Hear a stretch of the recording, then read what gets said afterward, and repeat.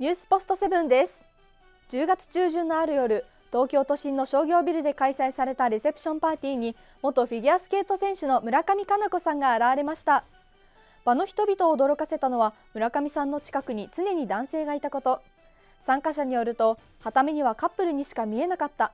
だいぶ距離が近いというか基本的には2人だけの世界でしたとのこと。男性の正体はダンサーの轟紅葉さん。アイスショーや舞台で活躍する新進気鋭の27歳で村上さんとはアイスショーでの共演歴もあるそうです。